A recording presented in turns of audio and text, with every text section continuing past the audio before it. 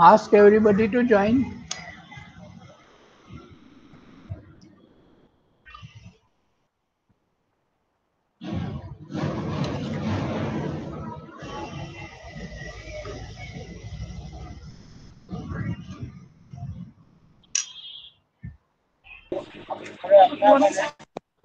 Good morning.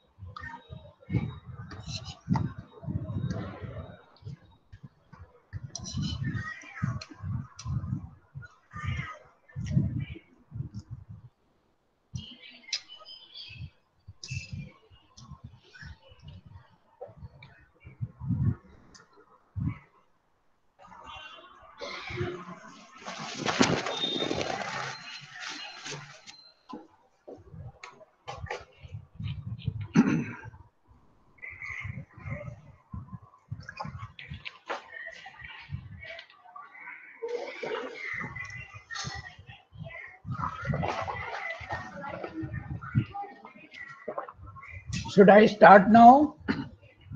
Everybody has joined.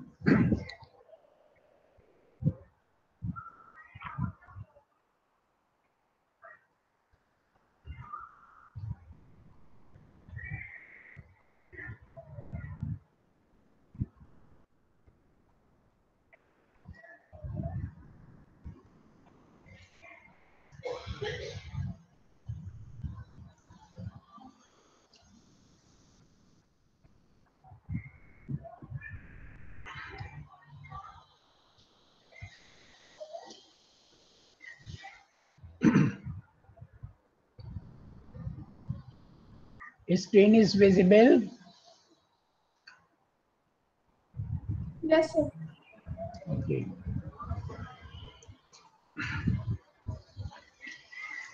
Last time I discussed about housekeeping department is police of the hospital.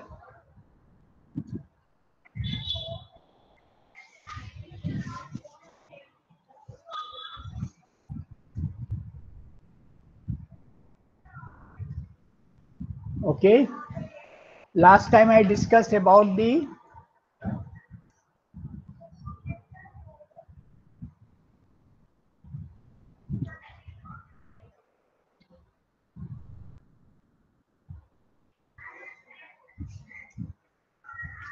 housekeeping department is the police of hospital. What do you understand by this word police? Anybody of you? Anybody of you? Are you hearing me? मेरी आवाज़ आ रही है hello Yes, sir. और screen screen भी दिख रहा है ना Yes, आप बताइए कि हाउस कीपिंग डिपार्टमेंट कैसे हॉस्पिटल का पुलिस है ये बात आपको समझनी है। ऐसा नहीं है कि आप केवल एग्ज़ाम में लिख दो, ये पुलिस है तो लोग नहीं समझ जाएँगे क्या है मतलब पुलिस का मतलब। आपको कोई भी डिपार्टमेंट बनाना है, हॉस्पिटल के लिए, खाली ये इसी के लिए नहीं होता। आपको क्वेश्चन कुछ भी आए तो आप उसमें ये चीज़ डाल सकते हो। कोई भी डिपार्टमेंट बनाना है, आपको मेडिकल स्टोर बनाना है। आपको हॉस्पिटल में लैब बनानी है तो आपको क्या करना पड़ेगा? पहले उसकी पूरी प्लानिंग करनी पड़ेगी, कैसे काम होगा, क्या जगह चाहिए, कितनी जगह में काम चल जाएगा, कैसे वहाँ पे सामान रखा जाएगा, कौन सा सामान, किस जगह पे रखने के लिए क्या हमें इंफ्रास्ट्रक्चर चाहिए, कितनी अलमिराज चाहिए तो ये आपको सब क्या करना पड़ता है? प्लानिंग उसके बाद आप उसको कौन कौन देखेगा? वहाँ पे स्टाफ कैसा रखेंगे? कितना स्टाफ होना चाहिए? ऑर्गेनाइजेशन करना पड़ेगा। फिर डिफरेंट डिपार्टमेंट से आपको लाइजन करना पड़ेगा, यानी सबसे मिल करके कि आपको क्या ज़रूरत है क्या क्या टेस्ट आप कराओगे, ये क्या टेस्ट कराएँगे? तो एक कंप्लीट लिस्ट आपकी बन गई। उसके हिसाब से सारा सामान लेंगे आप। और फिर जो ये आपने प्लानिंग किया है ऑर्गेनाइज किया है, लोगों से लाइजन किया है, इसको इम्प्लीमेंट करेंगे। इम्प्लीमेंट करेंगे, यानी उसको वास्तविक रूप देंगे।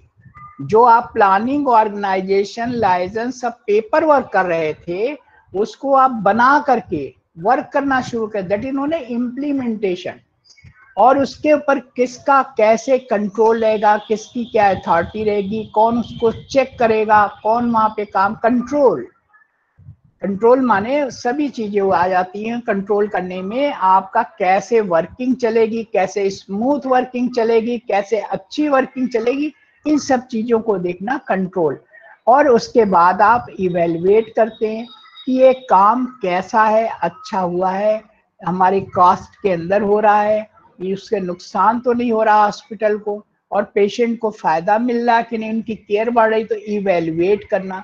तो आप कोई भी डिपार्टमेंट हॉस्पिटल में बनाते हो तो आपको जब भी पूछा जाए तो ये इंपॉर्टेंट पॉइंट आपको बता रहे हैं। आप उसमें सारे पॉइंट्स को डिस्क्राइब करके आप बता सकते हो कि हमें डिपार्टमेंट अगर इस्टेब्लिश करना है तो हम वही चीज़ हाउसकीपिंग के लिए भी है।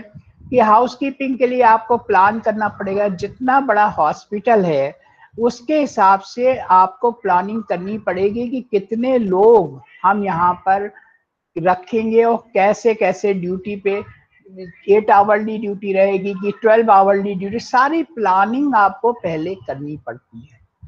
उसके बाद उसका ऑर्गेनाइजेशन का रूप क्या होगा? उसमें कितने सुपरवाइजर होंगे, कितने वर्कर होंगे, कितने कंट्रोलर होंगे? इन सबको। और फिर लाइजन करना पड़ता है हर डिपार्टमेंट से कि उनके हर डिपार्टमेंट में कैसे वो चाहते हैं वर्किंग अपने डिपार्टमेंट में। बहुत सी जगह ऐसी मशीनें रखी हैं कि वहाँ पर कैसे फॉगिंग करी जाएगी कि वहाँ डस्टिंग कर, करना अलाउड है कि जैसे और ऑपरेशन थिएटर में कभी भी ब्रूमिंग नहीं होती। ब्रूमिंग नहीं करी जाती मॉपिंग करी। ब्रूमिंग माने झाड़ू नहीं लगती वहाँ पे।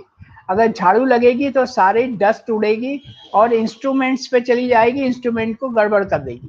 इसलिए कॉन्टिन्यूसली वहाँ मॉपिंग यानी वेट पोछे से सारी सफ़ाई होती रहती है एंटीसेप्टिक लोशन से। तो उससे डस्ट उड़ने नहीं पाती, जहाँ पे भी जो चीज़ डस्ट रखी है, उसको वहाँ से उस एंटीसेप्टिक लोशन से और पोछे से साफ़ कर दी जाती है। तो लाइजन करना पड़ेगा और इस तरह से सारा इम्प्लीमेंटेशन करना पड़ता है। और फिर उसको कंट्रोल और इवेल्यूशन की काम अच्छा हो रहा है कि नहीं हो रहा है। ये सारी चीज़, हमें कोई भी डिपार्टमेंट खोलना है तो हमें ये पुलिस जो है, इस प्लानिंग को, इस इस फार्मूले को याद रखना पड़ेगा। तो आपको समझ में आया everybody understood what is the role of police in the hospital ये वो पुलिस नहीं है कि बाहर जो आप देखते हो थाने वाली पुलिस। ये एक पॉइंट बनाया गया है, एक फार्मूला बनाया गया है, जिससे आप ये सारे पॉइंट्स देख सकते हो, कोई भी वर्किंग के लिए। Is it clear to everybody और नॉट जस्ट आंसर मी ये बात समझ में आई कि कोई भी आप हॉस्पिटल का डिपार्टमेंट है, उसको जब भी स्टैब्लिश करने चलोगे तो आप इतने हेडिंग्स के अंदर उसका पूरा चीज़ आप इवेलुएट करोगे पूरी प्लानिंग करोगे ऑर्गेनाइज करोगे इस तरह से।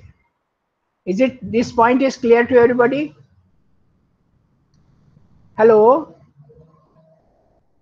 yes sir yes sir okay तो housekeeping department work has advance rapidly in recent year पहले से पहले क्या होता था, जो पहले जमाने में, आज से 20-25 साल पहले, क्या हुआ, हॉस्पिटल में एक झाड़ू लग गई, ज़्यादा से ज़्यादा एक पोछा लग गया, बस दैट्स ऑल कहीं कहीं फिनाइल डाल दी गई ऐसा। अब ऐसा नहीं, इससे काम नहीं चल सकता है। ये डिपार्टमेंट की रैपिडली रिसेंट ईयर में बहुत सी चीज़ें बदल गई हैं। बहुत सी चीज़ें में आपको, जैसे आपको वैक्यूम क्लीनर से रूफ भी साफ़ करनी होती है, जाले हटाने पड़ते हैं तो उस समय ये सब वैक्यूम क्लीनर वगैरह नहीं था। आप डंडे में कपड़ा बाँध करके करा करते थे। तो अब वो चीज़ें नहीं रह गई एडवांस हो गई है रैपिडली तो नॉलेज टेक्निकल स्किल आनी चाहिए। जो उसको यूज़ कर सके वैक्यूम क्लीनर से कैसे यूज़ करके वहाँ के सारे कीड़े, मकोड़े, गंदगी, जो जाले, ये सब हटाने पड़ते हैं। तो इन टूल्स का मैनेजमेंट भी करना पड़ता है। तो इसके लिए कई वर्कर्स को आप हर एक को ड्यूटी अलग अलग अलाट करते हो। मगर इसमें बहुत सारे चैलेंजेस भी आते हैं। तो चैलेंजेस क्या है? Routine needs to be plan so that do not inconvenience doctor nurses and visitors ये रूटीन जो है हाउस कीपिंग का ऐसे प्लान होना चाहिए कि जो वर्किंग है उसको डिस्टर्ब नहीं करे। जिस समय डॉक्टर ओपीडी में बैठना चाह रहा है, दस बजे से बैठ रहा है तो आप ग्यारह बजे वहाँ पे क्लिनिक करने के लिए अगर हाउस कीपिंग वाला आएगा तो कैसे काम चलेगा? वार्ड्स में जिस समय सारी पेशेंट्स को दवा देनी है नर्सिंग को, उस समय क्लीनिंग चल रही है तो ये नहीं पॉसिबल ये बहुत अर्ली आवर्स में उनके फिक्स टाइम कर दिया जाता है कि आप नौ बजे से हॉस्पिटल शुरू करना है तो क्लीनिंग वो ये सब चीज़ें आठ बजे से हो जानी चाहिए. तो ये कभी भी रूटीन डिस्टर्ब नहीं होना चाहिए प्लानिंग ऐसी होनी चाहिए. क्लीनिंग जो है कंसिस्टेंट होनी चाहिए. कंसिस्टेंट होनी चाहिए, यानी ऐसा नहीं है कि एक बार कर दी गई. एक पेशेंट डिस्चार्ज हुआ तो उसके बाद वहाँ पर जो दूसरा पेशेंट आएगा, उसके बाद फिर उसको क्लीनिंग करनी और वो पेशेंट के चार घंटे बाद फिर भी उस वहाँ पर क्लीनिंग करनी है। यानी कि आप एक बार कर दिए ऐसा नहीं, जहाँ गंदगी होगी तुरंत करनी पड़ेगी। तो cleaning has to be consistent होनी चाहिए। और इस तरह से इसमें एडजस्ट करने की फ्लेक्सिबिलिटी भी होनी चाहिए। जो वर्कर है वहाँ पे ये नहीं कि उनको बुलाया गया वर्किंग के लिए बोला गया और उनमें आपस में तुतु मैम हो गई। ये सब चीज़ें नहीं होनी चाहिए और वो इंटरप्शन से एडजस्ट करना उनको आना चाहिए। इक्विपमेंट के, जो इक्विपमेंट यूज़ करते हैं क्लीनिंग के, उनका स्पेशल अटेंशन देना चाहिए। स्पेशल अटेंशन दे करके उनको बराबर मेंटेन रखना है। और इस तरह से नॉइस वगैरह भी किसी भी तरह नहीं होनी चाहिए। ये सब चैलेंजेस हैं जो इस सब वर्किंग में आते हैं। तो greater variation in different work method work method बहुत बदल गए हैं पहले से। सब जगह विजिटर लॉन्ज में फ़र्क होता है वार्ड्स में अलग होता है थिएटर्स में जैसे अभी उन्होंने बताया थिएटर्स में ब्रूमिंग नहीं होती ऑपरेशन थिएटर में ऑपरेटिंग थिएटर वहाँ पे मॉपिंग होती है सब एंटीसेप्टिक सोल्यूशन से। तो जगह जगह जो है वेरिएशन है वर्किंग में। नीड फॉर चेक क्लीनिंग और इसकी ये चेकिंग बहुत ज़रूरी है। अगर कोई चेक करने वाला नहीं होगा तो प्रॉब्लम हो जाती है। जैसे मॉपिंग ऑफ़ फ्लोर्स फ्लोर्स में मॉपिंग बहुत ज़रूरी होती है। मॉपिंग माने पोछा लगना। उससे सारी डस्ट निकल जाती है। एंटीसेप्टिक सोल्यूशन से फ्लोर साफ़ हो जाती है। क्लीनिंग ऑफ़ टॉयलेट्स और वॉश बेसिन ये भी फ्रीक्वेंटली होते रहना चाहिए। तो ये सब चैलेंजेस हैं जिनको बराबर देखना पड़ता है। और ये, और इसके अलावा innovative and decorative task flower वगैरह लगा के डेकोरेशन भी करते हैं, गार्डनिंग करते हैं बहुत से अच्छे अच्छे नर्सिंग होम या हॉस्पिटल के बाहर, जिससे पेशेंट को एक एटमॉस्फेयर मिलता है। और ऐसे रूम्स वगैरह जो गेस्ट के लिए रूम है, ये सब उनको प्रिपेयर करना पड़ता है। फ्लोर्स के लिए बहुत सारी सप्लाईज ज़रूरत होती है, जैसे ब्रूम चाहिए स्वीपर इलेक्ट्रिक ब्रूम चाहिए। आजकल इलेक्ट्रिक से ऑपरेटेड वाली ब्रूम आ गई हैं, जो बड़ा एरिया होता है तो जल्दी से साफ़ हो जाता है उसको। डस्ट मॉप मॉपिंग करना है पोछा लगाने वाले डस्ट डस्ट से मॉप होता है वैक्यूम क्लीनर ये सब चाहिए। स्क्रबिंग मशीन्स चाहिए स्क्रब करके कहीं गंदगी चिपक गई है तो स्क्रब करके हटती है। Treated pads buffers scrubbing machines mop handles mop pails and wringers deck brush इस तरह के जो ये इक्विपमेंट्स हैं, इनकी सप्लाई जब होगी, तभी वो स्किल्ड वर्कर काम कर पाते हैं। तो ये सब वॉल्स के लिए क्या क्या चाहिए उनको? स्प्रे करने की चीज़ें चाहिए। गार्बेज के लिए कैंस जो कूड़ा है, उसको कहाँ पे इकट्ठा करें? उसके आजकल डिफरेंट कलर्स के कैंस आ गए हैं कि किस तरह का कूड़ा, जो इन्फेक्टेड कूड़ा है नॉन इन्फेक्टेड कूड़ा, दोनों को अलग अलग रखना है और उसका डिस्पोजल करना है। ये सब भी सिखाया गया है। टॉयलेट साफ़ करने के लिए ब्रशेज और स्क्रबिंग ब्रशेज चाहिए। तो ये सप्लाई भी बराबर मिलती रहनी चाहिए। फर्नीचर में कैसे यूज़ किया जाए? फर्नीचर को कैसे क्लीन किया जाए? विंडोज़ का कैसे क्लीन किया जाए? इनके लिए सप्लाई चाहिए होती है। तो बेसिक सप्लाई ये होती है steel wool rubbing compound rubbing compound माने ऐसी एंटीसेप्टिक कंपाउंड्स आते हैं जिसके रब करने से इन्फेक्शन दूर होता है।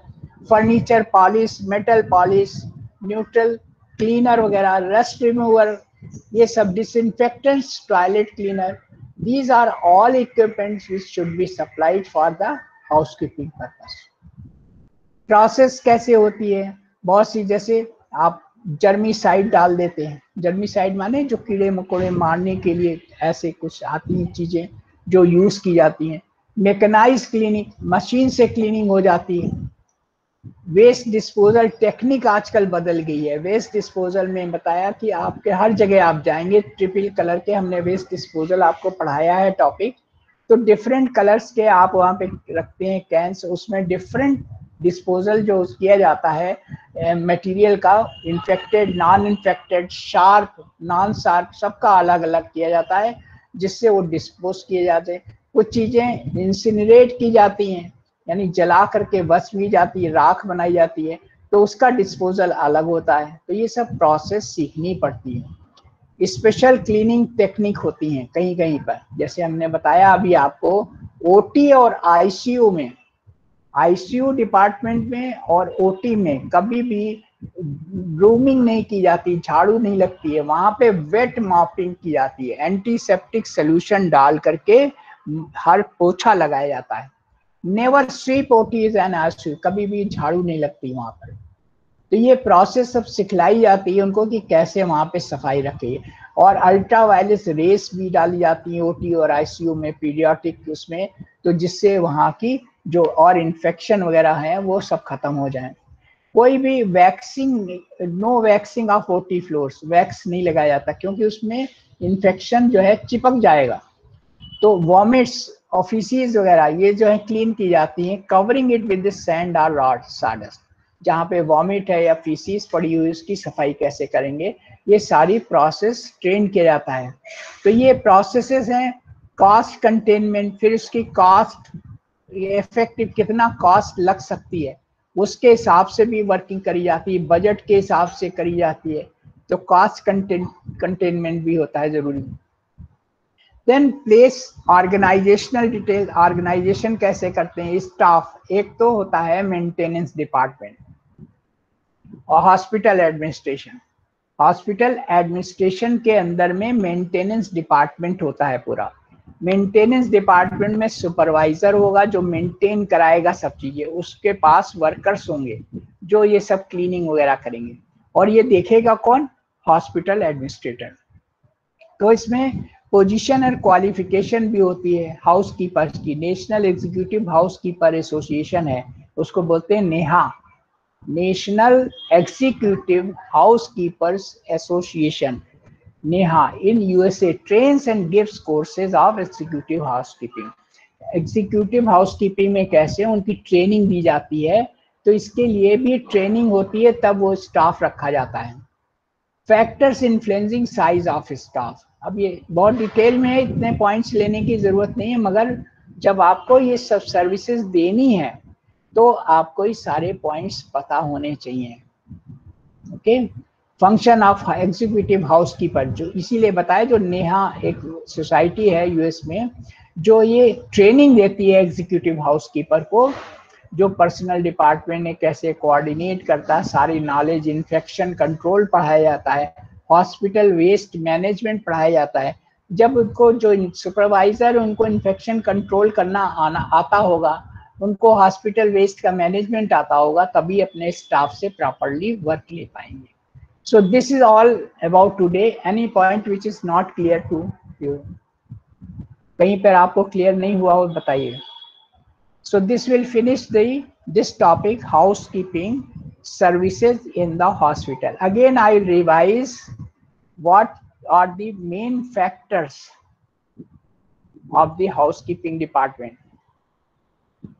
आपको कैसे प्लान करना है police of the hospital anybody will revise this what is police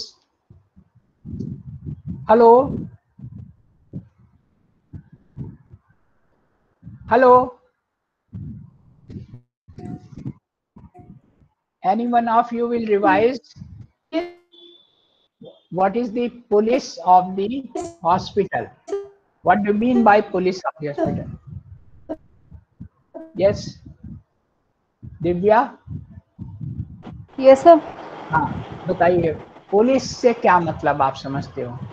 ये वर्ड हमने आपको आपको जो ये वर्ड दिया है जितनी भी हॉस्पिटल की सर्विसेज़ हैं you can apply this in everything आपको कोई भी सर्विसेज़ लेनी है हॉस्पिटल में तो ये दिमाग में पॉइंट रखने पड़ेंगे। कौन कौन से पॉइंट है? P for sir planning yes organisation organisation lesson lesson नहीं है इट इज़ लाइजन वर्ड सही बोली लाइजन का मतलब लाइजन का मतलब क्या समझते हैं आप? लाइजन समझ जैसे एक जगह पर चार डिपार्टमेंट हैं। उन चारों डिपार्टमेंट में आपस में समझौता हो कि देखो हम ऐसा काम करेंगे हम ऐसा काम करेंगे सब लोग मिलके काम करें। तो आपस में क्या है? लाइजन है। और आपस में आपस में लाइजन का क्या मतलब हुआ? आप चार लोग मिल करके एक मोटो एक ऑब्जेक्टिव बना लो कि हमें ये चीज़ अच्छी तरह से करनी है और 100 परसेंट अचीव करनी है। तो अगर चारों में एकता होगी चारों जो बात को कहेंगे, एक कंसाइज वे में कहेंगे, उसमें कोई भी अलग नहीं जाएगा। तो ये क्या हुआ? लाइजन हुआ। आपस में क्या है? समझदारी है। तो ये क्या कहलाती? लाइजन जब तक किसी भी हॉस्पिटल में हो या किसी ऑफ़िस में, जब तक आपस में लाइजन नहीं होगा, वहाँ की वर्किंग कभी भी अच्छी नहीं हो सकती। हर घर में लाइजन होगा, तभी सारा घर में शांति रहती है। नहीं तो झगड़े हुआ करते। तो लाइजन एक बड़ा वर्ड है। तो क्या हुआ?